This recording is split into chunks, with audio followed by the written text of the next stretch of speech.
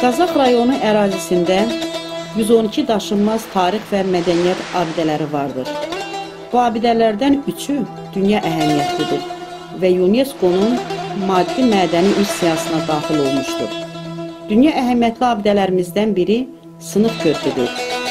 Azərbaycan memarlığının şah əsəri olan körpü Qazax rayonunun 2-ci Şıxlı kənd ərazisində Xram çayı üzərində salınmışdır.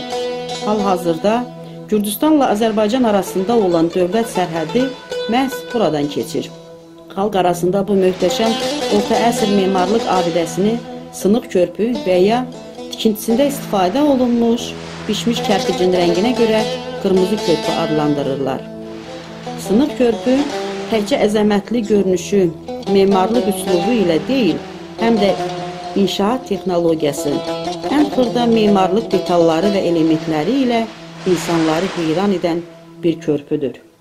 1819-cu ildə Tiflisdən İrana gedən Rus şairi Qribayedov da bu körpünü gördükdə heyran olmuşdur. O qeyd edir ki, qarla örtülü çöl biyabanda gözlənilmədən bir memarlıq abidəsinə rast gəldik. Nə qədər heyrətamiz gözəllikdir ilahi. Bu dörd tağlı körpü simmetrik qaydada fövqəladə bir ustalıqla, əla zövqlə tikilmişdir. Körpünün uzunluğu 175 metr, eni 4 metr yarımdır. Bir-birindən yaraşıqlı 4 aşırım üzərində duran körpünün birinci aşırımının uzunluğu 8,2 metr, İkinci aşırımın uzunluğu 16,1 metr, üçüncü aşırımı 8 metr, sonuncu aşırımın uzunluğu isə 26 metrdən artıqdır. Yükə davamlılığını artırmaq üçün körpünü balıq belli tikiblər. Xalq şairimiz Osman Sərvəlli isə onu obrazlı olaraq at üstündəki yəhərə bənzətmişdir. Xram bir köhləndir, yalmanı dümağ, köpüklər qaynaşır qıvrım telində, Baxın, uca tağlı qırmızı körpü bir qızıl yəhərdir onun belində.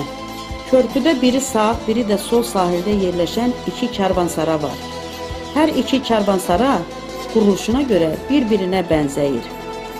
Fərq yalnız onların tutumundadır. Sol karvansaranın sahəsi 166 kvadrat metrdir.